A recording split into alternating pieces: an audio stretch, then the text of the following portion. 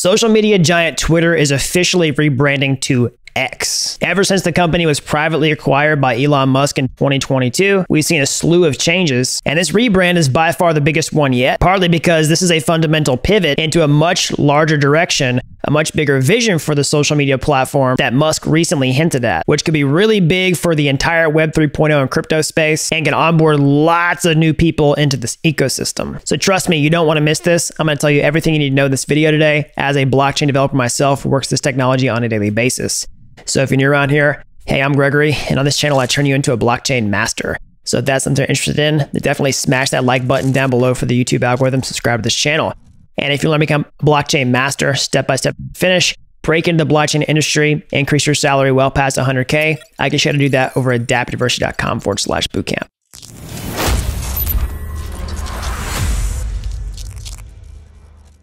All right, so let's jump into this. Let's talk about this big Twitter rebrand to X and how it could be a massive deal for all of crypto and Web 3.0. So first of all, like in case you've been living under a rock the past week, Twitter is now X. At the time of recording this video, if you go to twitter.com, you can see the X logo up in the left-hand corner. And apparently soon you'll actually be able to go to x.com and access the application that way. So what's the deal? Well, recently, you know, Musk has been talking about transitioning Twitter from just a social media application to more of an everything app. And I'm just sort of connecting the dots here that that's part of the rebrand you know, X being an all encompassing brand name that sounds more like a nebulous variable name of which you don't exactly know what the value is. But it's also gained a lot of attention online because, you know, X.com brings a lot of other connotation to people's minds, like this guy. You know, he said he's very excited for the day when his wife finds an $8 a month charge to a site called X.com. Now, all jokes aside, I want to drill down on one major part of this pivot to the everything app with X. And a big part of doing that is money. And that's exactly what Elon Musk was talking about this past week. Let me show you a quick clip of this interview. Essentially, if, if, if done right, the X would be would, would serve people's financial needs to such a degree that over time it would become, I don't know, maybe half of the global financial system. Now that's absolutely crazy. You know, half of the global financial system, you know, give or take.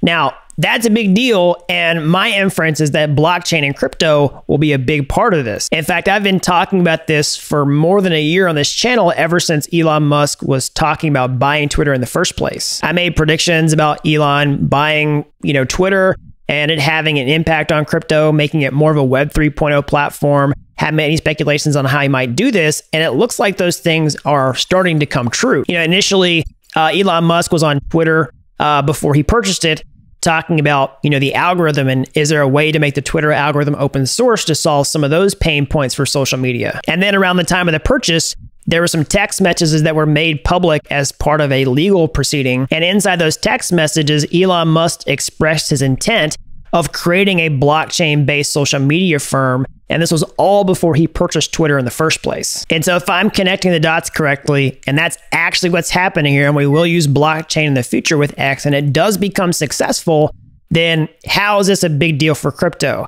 Well, it goes without saying if X does become, you know, half of the global financial system that Musk is talking about, or even if it's anywhere close, even if it's just like 10%, that's already going to grow the pie for the crypto space far beyond what it is today. And going even further than that, it's going to onboard an insane number of new users into the blockchain ecosystem who aren't here now, you know, just buying cryptocurrencies and speculating on what their price is going to be in the future or using, you know, decentralized finance or DeFi, which is a really small niche in finance on the grand scheme of things. It has a potential to have a future of blockchain where people don't even necessarily know they're using blockchains behind the scene to create a user experience that's seamless that I think, you know, models more of what blockchain mass adoption would look like in the future. That's the potential on the table. And so how going to do that? Well, let's break down into Elon Musk's comments a little bit more. You know, he talks about making this the most efficient database for the thing that is money. Okay, that's what he said in the interview.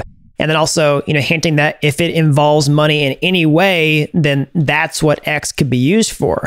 So, what are the use cases? Well, number one, you know, payments are a pretty obvious one. This is the low hanging fruit that a lot of people have, you know, tackled when using crypto. So, you know, think about any type of peer to peer payment, things that you might use Venmo for right now, or your bank's bill pay system, or you know even just paying at point of sale checkouts like you know buying coffee or groceries or something like that basically it takes all this stuff which is currently controlled by you know different layers from old school banking rails that settle transactions under the hood to credit card payment processors to wallet solutions like Apple Pay or Venmo, which all kind of work different ways, but it coalesces these disparate technologies into a single place where essentially you have this infrastructure that settles financial transactions across the entire globe and an app that plugs straight into that. It cuts out all these other layers to where you could do things more efficiently, more real time, like Musk is talking about, without having to wait for these settlements, for these disputes cutting down on fraud, and really streamlining crypto payments in a way that we've all been taking advantage of, you know, us insiders in the crypto space to date, and bringing that to the masses. And now payments are just one part of the equation. If he's talking about it being the financial system, there's so much more than just payments, okay? We're talking about any type of investment, tapping in traditional brokerage accounts and things like that. There's trillions and trillions of dollars in wealth in that sector alone. Things like trading, which obviously we're doing a lot of that in the crypto space right now, and also earning yield. And I think yield's a big use case for the average Joe who may not be, you know, savvy or active investor. You know, it's not really that hard of a pitch to say like, hey, you're earning a, you know, maybe maximum 1% interest in your bank account. Why don't you just download an app that lets you save money and earn interest that's more competitive to your bank? If we can do that with blockchains, if we can do that with an app that already has trust, like X, you know, a massive giant, which is not some sketchy app that you're just downloading that's, you know, just a small VC backed project that has really easy onboarding, really easy user experience that's not a bad pitch for the average everyday user. You know, all these things we're already doing inside of crypto, and it's taking these to the mainstream use case and putting them inside of a massive app that already has an insane number of users where they can just seamlessly onboard to this type of experience. And don't forget, you know, Elon Musk is the co-founder of PayPal, and he knows a thing or two about payments and how, you know, we can take payments and make them better. And he's been on the peripherals of the blockchain space for quite some time now. And so the next big questions, you know, if this is right, if we do actually see X become more of a financialized app, I don't know if that's a word or not, and if that does end up using blockchain underneath the hood for all that type of stuff, then how? Okay, what blockchains are they going to be using? How they implement it? Well, it's really hard to say. The best that I can do is speculate in this case. Um, I really doubt that X would create their own blockchain.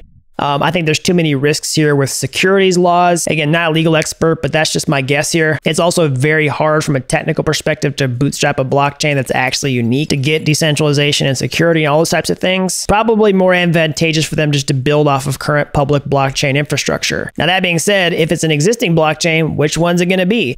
Well, there's of course lots of speculation that it would be, you know, Dogecoin because Elon Musk has a pretty extensive history with Doge. He likes to be a little bit of a joker, and it wouldn't surprise me if at least Dogecoin was one option for doing payments on something like X. Of course, none of that's financial advice. I'm not telling you to buy any of these cryptocurrencies as a speculation for this, but I do see that as one possible option. Now, I also see the limitations of what you can actually do with Dogecoin. And so it may not actually provide the flexibility nor the scalability that would be required to actually run something like X. So that leads me to other thoughts like Ethereum. You know, Ethereum is going to have more of a generalized support for smart contracts and applications that can be built in order to run this, especially with DeFi. Of course, it's not going to have the scalability that's required at the base layer, but of course, that's what layer two scaling solutions will be for. You know, I don't have any special insight into this. That's just me taking the next logical leap about what's the best technology that's fit uh, to start doing something like this. And you know, full disclosure, I don't think all that technology stack's quite ready just yet to take over half the global financial ecosystem that you know Musk is talking about. But all this stuff could be developed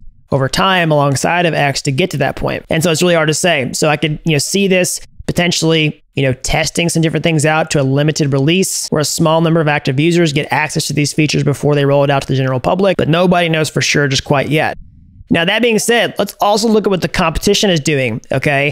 Because that's a pretty good indication of where this might go. So that's kind of a counterintuitive business idea. You know, actually go where there is competition because if there's smart people going after those opportunities, that means that there is an opportunity probably here and that there's probably also demand and a very large addressable market. So to me, it's no accident that this announcement with X, you know, came at a very close time to when OpenAI or ChatGPT's CEO announced the launch of WorldCoin, which essentially is aiming to be a global system for universal basic income, along with biometric scans that can prove unique personhood on a blockchain. It wouldn't surprise me if, you know, X tries to pursue a similar route. And also you have to think about their other competition kind of ironic that Elon Musk bought, you know, Twitter, which was previously Jack Dorsey's company. Jack was also working on Square, you know, Cash App, which also rebranded to Block to focus on blockchain-based payments. All these people are pursuing very similar goals. Now that being said, if Twitter goes in this direction of, you know, taking over payments, taking over lots of financial activities and does something similar to what their competition is doing with decentralized identity management or DIM, that's a term that I coined on this channel, then we could see X start to become part of the decentralized identity layer where you actually need some type of proof that you are who you say you are on the blockchain aside from just a private key. And maybe we start to see things like uh, biometric data where you can authenticate to prove that you are who you say you are through X to where you can store uh, hopefully privately, more personal information to prove more information about yourself online, like your age, maybe your income, etc., etc., so that you can streamline more processes that need this type of proof online, like getting loans or applying for any type of financial service. And so that's where all this could head. You know, we could be in a future where X sort of becomes an everything app that can do a lot of things, but really importantly, you know, is able to manage your identity online, hopefully in a safe, secure fashion and also becomes a big part of the global financial system by facilitating payments or any financial activity that you do online, whether it's lending, earning yield, brokerage, payments, etc., etc. And if we do get to that point and blockchain becomes an integral part of that entire thing, this can onboard an insane number of users into the space simply because of the number of people that already use Twitter that more or less trust Twitter as opposed to some brand new application. And it could be a chance for people to actually use blockchain behind the scenes where they may or may not even know that they're using blockchain underneath the hood. They don't have to. It just does what it's supposed to do and pushes us that much closer towards mass adoption. So let me know what you think down in the comment section below. Is that the direction that X is actually going to go? Are they going to be able to pull this off? Are they going to be able to use blockchains underneath the hood? Which blockchain do you think they're going to use? Is it going to be Doge? Is it going to be Ethereum? Is it going to be something completely new that's unreleased? I want to know from you. Make sure you leave a comment down in the comment section below. And once you do, of course, make sure you subscribe to this channel, turn on notifications down below. That really helps these videos out so the more people can learn about blockchain. And if you're as fast at this technology as I am, you want to get your hands dirty, how can you get started today? Well, you go to my YouTube homepage. You can find those free courses there. They're like Udemy courses, but they're totally free. And if you like these videos and you want to take the next step, or hey, maybe you want to take a master shortcut entirely, I should have become a blockchain master step by step, start to finish over at dappuniversity.com forward slash bootcamp. You really don't have to be an expert to get started today. I've helped people with zero coding experience become real world blockchain developers in a matter of months. So that's all I've got. Until next time, thanks for watching Dapp University.